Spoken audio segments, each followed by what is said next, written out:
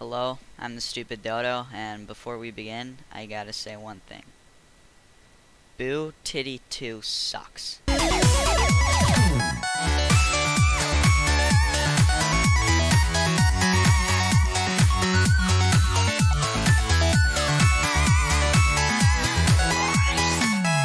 Quick disclosure. I just want to say that this level's atmosphere is great, and Jonathan GD has made some great levels in the past.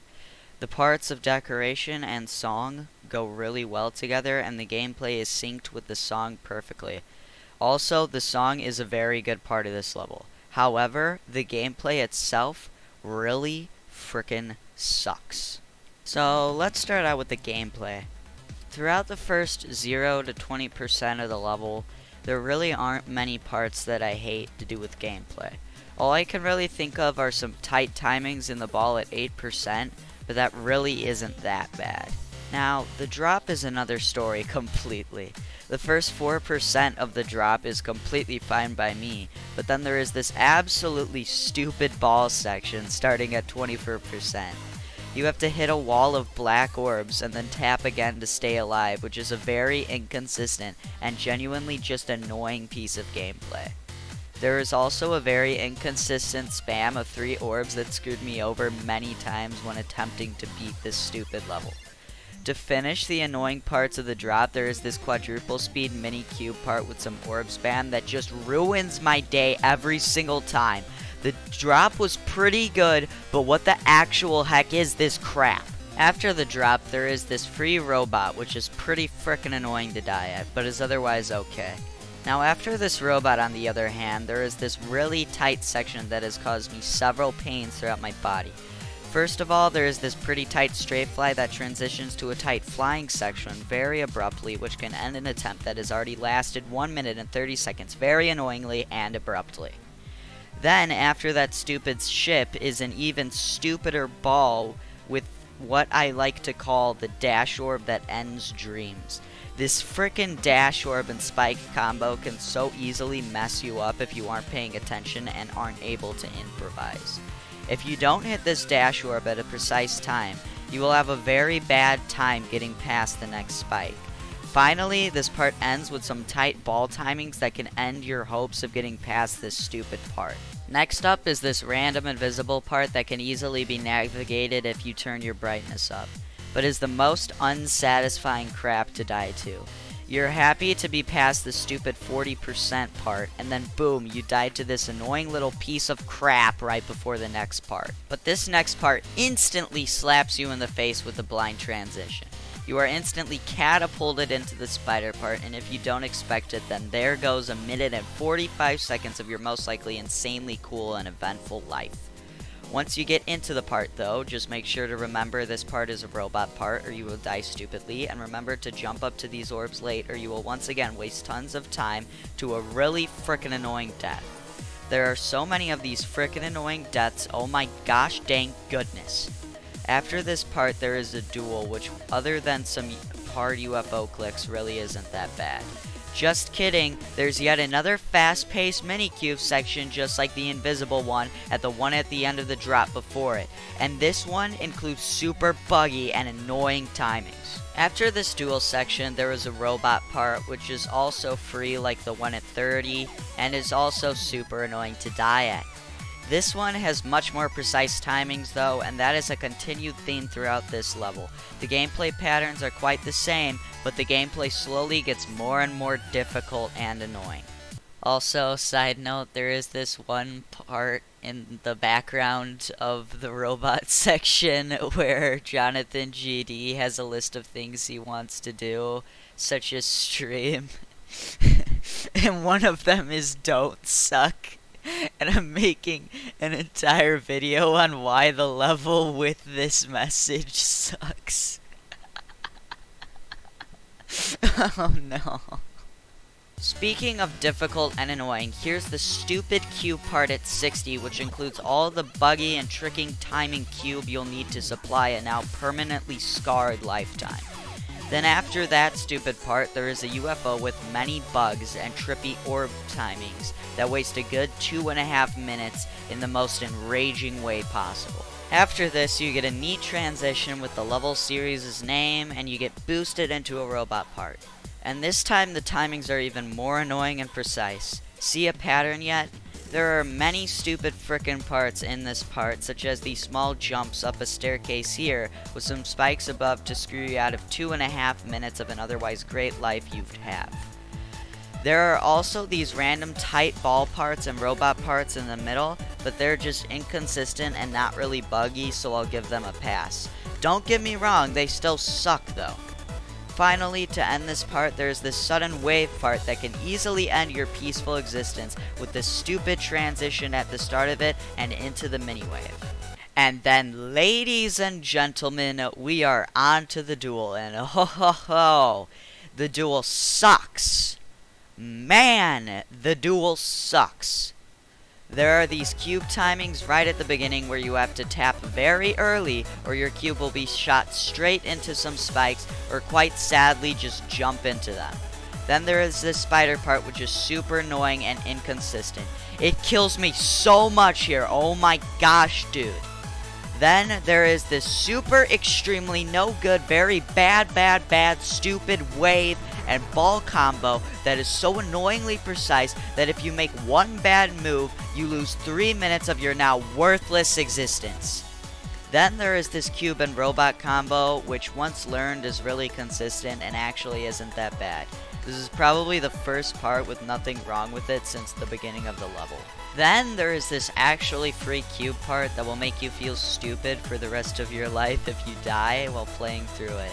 And no, despite my name, I have yet to die here because I've never actually beaten this level. But I have put 4,000 attempts into this piece of garbage, holy crap. After the part that belongs in a hard 4 star, there is this tight ball with the actual worst black orb in a ball ever. It is way worse than the black orb part at the drop. For goodness sakes, it is the buggiest trash I have ever seen. And then we get to the sole reason I haven't beaten this level. No, it was not the annoying mini cube parts, it was not the dumb places you could easily die at, it was not the bugs, no. It was the stupid part after this cube duel. This cube duel has annoying timing, sure, but it is nothing compared to this next part. This part from the actual depths of hell starts with a UFO and ship duel, which starts with yet another stupid blind transition. You have to click during the transition or else your ship and UFO get completely obliterated 14% away from the end of the level. And then there is this ship and wave section at 87%. This ship and wave section would be fine if it weren't for this portal in the middle of the part and before the spike corridor ends. Because of this corridor continuing past this portal, your wave will get teleported into these spikes 50% of the time. Why does this part exist? Why? Jonathan! Why? I literally gave up 9 days of attempts because I knew that this part would ruin my day. So I just left this level in the dust because of it. This is why BuTiTi 2 sucks. If no other reason, this is it. But that's not the end of it. Oh, that's not the end of it. After this dual part, there is still a wave which can easily kill you because of the stress caused by actually getting past the howl of this level you could easily just forget the click pattern of this wave after beating the duel and have your entire duel ruined just by that. So be careful of this stupid piece of trash wave. There is another stupid part after this wave section as well in the form of a boss fight with Juniper's icon. This ship starts with Juniper shooting several fireballs with a very, very tight pathway in between them to get out of. These paths go from the top of this part to the bottom so your ship can easily go out of control and you die right at the frickin' end. Then you are targeted by the Seeking Missile Stars, which need to be strategically lured. You can't go too high or low at once when dodging them, because Juniper comes out of nowhere to absolutely annihilate you right at the end. Also, I forgot to mention, you either have to dodge the stars by going up or down because this part is randomized as another little part to screw you the frick over right at the end. Finally, this part ends with a tight straight fly that can snag you if you aren't careful.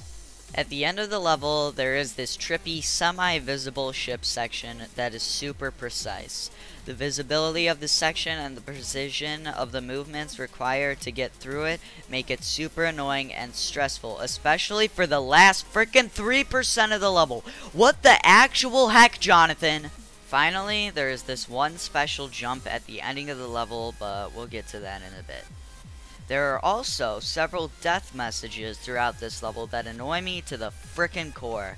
I located three of these as I played through the level and they are super annoying to have to look at. Firstly, there is a death effect at the end of this wave part that reads Torch121 Best Creator, which is referencing the generic 2.1 creator Torch121, who in my opinion is very infamous for making super bland and uninteresting levels.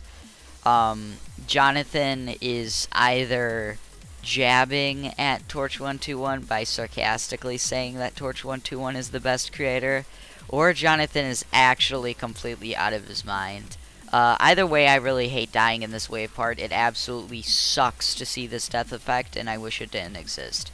Secondly, there is a death effect at this straight wave slash straight ship section that is a bundle of laughing, crying emoji. The thought of Jonathan laughing at my suffering makes me want to punch a hole through my monitor, and the fact that the emoji art is so horribly decorated makes me even more angry. Finally, there's the death effect at 99%.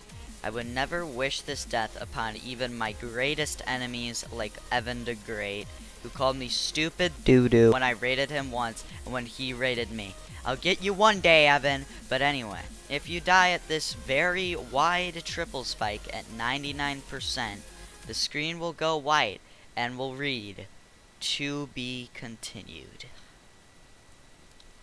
Why does this triple spike exist? It's the freaking rotten egg on top of the freaking garbage pile of this level.